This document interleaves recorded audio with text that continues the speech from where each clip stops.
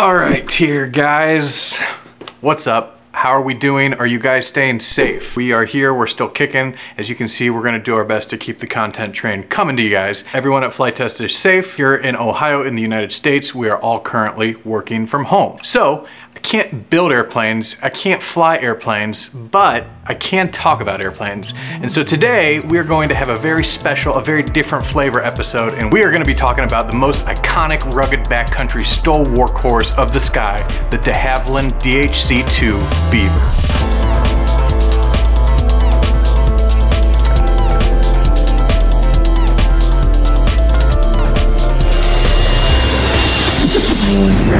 Before we get started, I wanted to give a huge shout out to our sponsor for this video, and that is Squarespace. Squarespace is an all-in-one platform that you can use to make beautiful websites. So as you guys know, the Beaver has a very special place in our hearts because most recently we came out with a brand new product, which is a micro RC Beaver that you can actually buy by checking out the link below, shameless plug. But beyond our involvement with the Beaver, the origins and the story of the Beaver are actually really, really interesting. So the origins of the Beaver started with a little company you might have heard of called De Havilland. Now de Havilland originally was in the UK. They were known for some planes you may have heard of like the Tiger Moth, which is an iconic trainer biplane, the Mosquito, the all wooden twin engine fighter that was fast enough to make the Kessel run in less than 12 parsecs. What?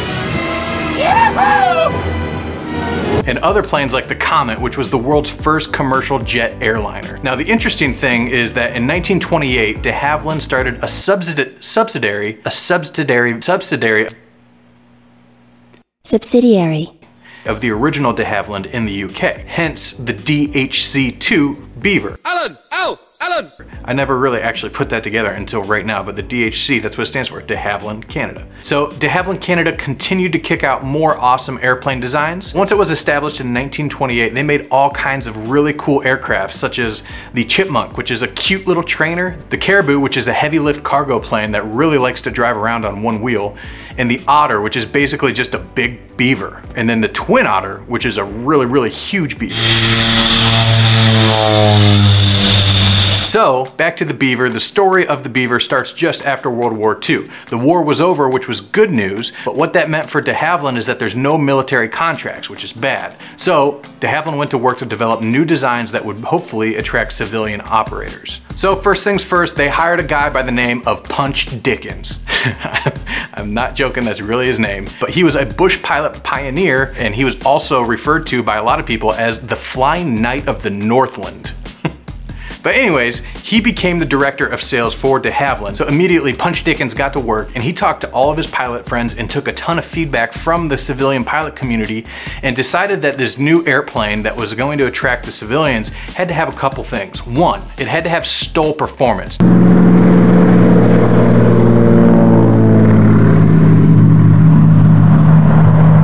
Now, if you don't know what STOL performance is, STOL stands for short takeoff and landing. Basically, these types of aircraft are able to get to places that are otherwise only reached by a boat or by foot. Beyond that, it also would have to have a ton of power so it could carry all of the cargo and carry out the tasks of these bush pilots. It was unanimously agreed on that all pilots are always wanting more power.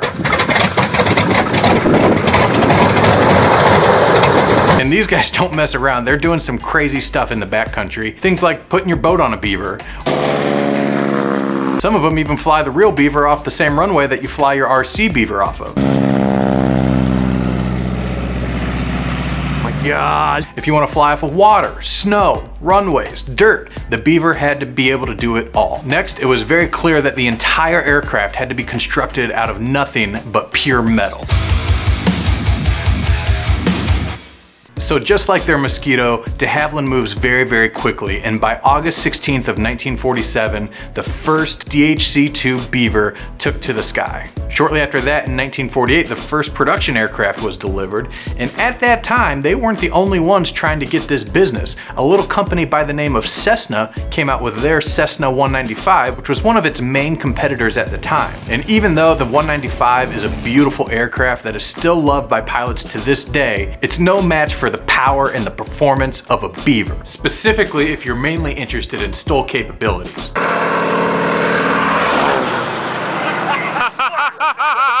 Now, at first, sales were not terrible, but they weren't great. Things were a little bit slow. They were selling some, but they, they weren't going like hotcakes.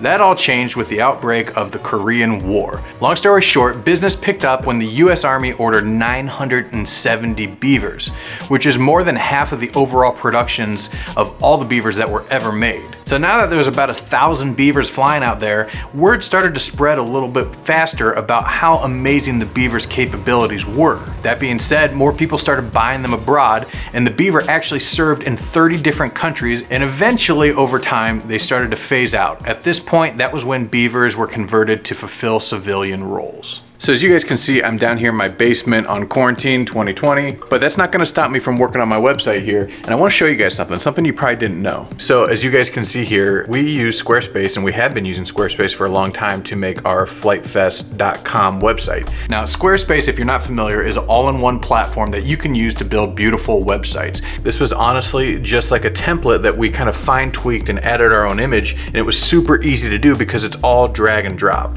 I do a lot of Flite Test print and web design, um, but I'm more of just an aesthetic guy. I'm not really much of a back end guy when it comes to coding and stuff like that. And the best thing about Squarespace is that doesn't matter because you don't need to worry about trying to figure out how to make it work. You basically just get to focus on how it functions and how it looks. You don't have to worry about the back end coding, which is really nice. So as you can see here, it integrates with other online platforms. Like for example, here we use Eventbrite to do all of the registration for FliteFest. And it is able to integrate right into the FliteFest.com website without any problem. So, and the coolest thing too is look at this, it actually will adapt to whatever kind of device you're on. So nice thing about Squarespace is you don't need to design two different sites for one for mobile, one for desktop, because the templates are automatically adaptive and they'll adapt depending on what screen resolution your device has. This means that more people are gonna be able to access your website anytime, anywhere. So as you can see here, this is what it looks like when you log into Squarespace on the back end. If I can do it, anybody can do it. Now this tab right here, the design tab, this is where I spend a lot of my time. And as you can see, um, you can go in here and there's all kinds of different templates that you can install. With basically a click of the button, I could pretty much change the entire look of my website and make it feel like a fresh new design, um, which is pretty nice. Beyond that, there's all kinds of different options in terms of e-commerce, marketing, scheduling, analytics. You can go in here and you can see the back end of all the different types of graphs and charts that you need to see of like what kind of traffic your website is getting. It really gives you an idea of who's visiting your website, which is pretty nice. Now, the best part about all of this is you can try out Squarespace right now. Just head over to squarespace.com and you can actually start a free trial. And beyond that, if you go to squarespace.com slash flitetest, you can save 10% off your first purchase of a website or domain. So again, huge shout out to Squarespace for sponsoring this video. It's because of them and you guys out there watching that we're able to do what we do. So thank you so much. And let's get back to the beaver. Now, fast forward to the 1960s and de Havilland got real crazy with their beavers and they made what they called the Mark III Turbo Beaver. Oh. And as you can see, it looks a little bit different, and that's because on the front, instead of the original radial, it had a Pratt & Whitney PT6 turboprop. Craziest thing about all this is they only made about 60 of them originally from the factory. And then in 1967, production of the Beaver eventually ceased, at which point the 1,657th Beaver rolled off the line, and the Beavers have never been manufactured since. Hmm.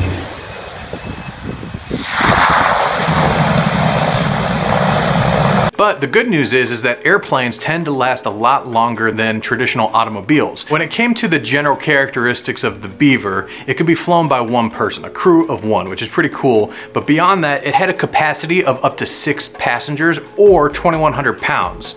Now, in terms of an airplane, 2,100 pounds of a useful load is a lot. Now, when calculating your payload, you obviously have to consider things like fuel, but put it into perspective, that's like a full-grown Clydesdale horse or a Mitsubishi Mirage. Or if you're a real crazy backcountry bushman, you can strap your Yamaha Grizzly to the side of your pontoon and take it straight on up to the Blue Yonder. And if you're plane crazy, you can take your plane, put it on your plane, and you can plane fly your planes anywhere you want. The length of the aircraft was 30 feet and it had a whopping wingspan of 48 feet, which is pretty big for a high-wing single-engine aircraft. It was 9 feet tall, so you had no problem walking right under that wing without having having to bend your head down. And it had a huge wing area of 250 square feet. Empty, the thing weighed about 3,000 pounds and the gross max weight that you could get it up to is 5,100 pounds. In other words, that's an extremely capable aircraft. Now, the original Beavers were powered off of one Pratt & Whitney R985 Wasp Junior radial engine. And beyond being really well known for their whopping 450 horsepower,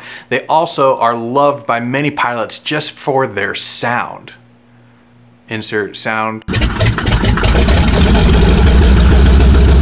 Problem was is that eventually the R985 Wasp Jr. was eventually out of production, so parts became hard to find. At this point, people started swapping out their engines for other more powerful options. The most desirable engine upgrades was the PT6 turboprop and also was the same engine that the Mark III Turbo Beaver had. Now the great thing about the PT6 is obviously it was more powerful, but at the same time it was also lighter. And so when you add those things together, you have a highly capable and versatile aircraft. Now the downside of doing an engine swap, as always, is it's expensive. Put it into perspective, the PT6 alone, just the engine itself is gonna cost you around three quarter million dollars, depending on which variant of the turboprop you get. The good news is, is even if you have the traditional Beaver with the Wasp Junior engine, you're still gonna be able to cruise at 143 mile an hour with a maximum speed of 158 miles an hour, which relatively compared to a lot of other planes, that isn't very fast. But keep in mind, the tasks that these airplanes were designed to carry out were previously being carried out by a sled dog team. So as long as it's faster than those traditional dog sled teams, it's gonna be fast enough. So 143 mile an hour cruise speed was a huge improvement compared to how they were doing it before. Beyond that, the Beaver could fly for about 455 miles on one tank of fuel, and it had a service ceiling of 18,000 feet. Couple that with a climb rate of 1,000 foot per minute, and you have an extremely versatile utility aircraft. Now, since its first flight in 1947, the Beaver has carried out all kinds of different operations. Things like search and rescue, which was heavily utilized by the Civil Air Patrol. Beyond that, you had the British across the pond and the Army Air Corps deployed their Beavers for photo recon missions, one of which was hit seven times by machine gun fire and still made it back. Sir Edmund Hillary, you know, the guy who was the first one to reach the top of Everest, he later led an expedition where he and his team completed the first overland crossing of Antarctica over the course of 1955 to 1958. This was made possible by the support of the Beaver. Even Harrison Ford, who is a very accomplished pilot and a big advocate of general aviation, owns and operates his own Beaver. The Beaver is one of his favorite planes, which he fell in love with after flying one in the critically acclaimed movie Six Days, Seven Nights. Two strangers on a flight to Tahiti are about to make an unscheduled stop. Anyways, he's flown all kinds of amazing aircraft, including the Millennium Falcon, so if he says the Beaver is good, it must really be good. In recent years, there's been a growing interest in the leisure industry for the de Havilland Beaver.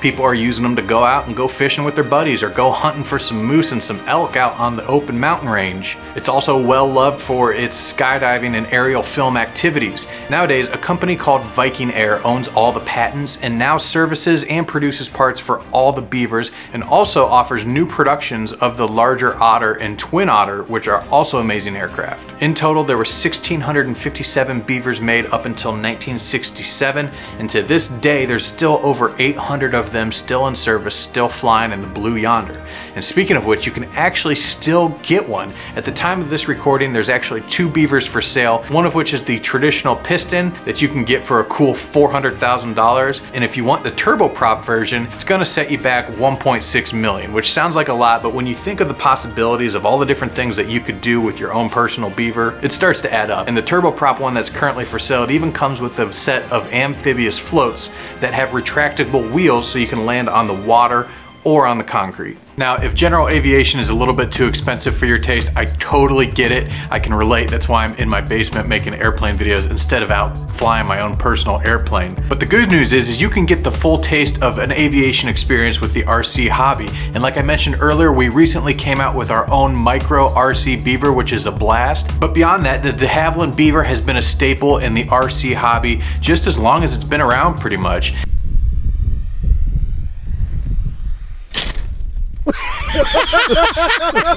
And here at Flite Test, we do all kinds of aviation content, and we've actually had experiences with a couple iconic Beaver models, like the original Fly Zone Beaver, as well as the 2000 millimeter FMS Beaver, which we had a blast with. This thing is huge.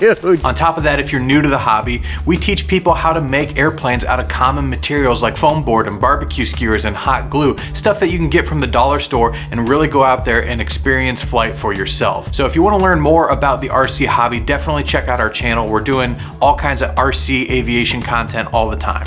Also, shout out to the guys and gals over at Donut Media. If you like this video and you like cars, definitely go check them out. They have the best car content on YouTube, and obviously they were a huge inspiration for this edition of our quarantine content. Anyways, guys, that's everything I know about the Beaver. Let me know what you think about this video. Let me know if you like it, if you don't like it, if it could be better in certain ways. We're getting weird. I'm in my basement right now during the quarantine. I hope you guys are staying safe. Leave us a comment down below if you have any ideas what we should call these videos. Also, if there's any other kinds of projects you'd like to see us do during this quarantine. The good news is, is that both Josh and his son Noah are still gonna be able to create content at their house where they can also fly. So we're still gonna be having flying videos. We're gonna be doing videos from my basement. Thank you guys for making this possible. We wouldn't be here without you. If you haven't subscribed yet, make sure you do so, and we'll see you in the next one. Leave a comment. What should be the next plane?